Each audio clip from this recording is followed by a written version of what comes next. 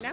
Yes, your name, your full I'm Regina Oakley and I'm working at the University of Basel and I'm also working in the Jigjiga One Health Initiative project that's going on here at um, Jigjiga University.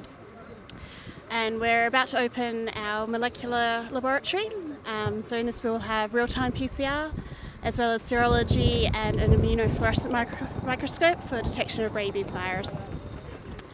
Um, with the PCR, uh, we're able to quantify um, the DNA within a sample and we can detect bacteria, viruses, and parasites. Um, so we'll be able to use this for diagnosis of disease within the population.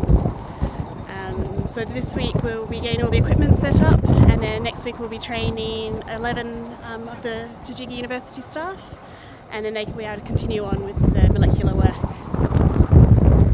Do you have any extra plan regarding uh, this laboratory?